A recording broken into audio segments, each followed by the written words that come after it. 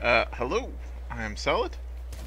Uh, I've apparently been asked directly by people on how to play Rogue. You can hear people in the background continuing to ask me on how to play Rogue. Uh, I'm going to very quickly, and I do mean very quickly, show people how to play Rogue. So I will stop getting repeated tells. Uh, th th this is this is how to play Rogue correctly. And then what you do after that is you hit this button on your keyboard. I'm going to assume you're using a keyboard. It's called the R button. And you hope you started out as random, at which time uh, you should then be using a different character. And that's how, that's how you play Rogue. Uh, enjoy Nuclear Throne. Uh, I'll see you guys later.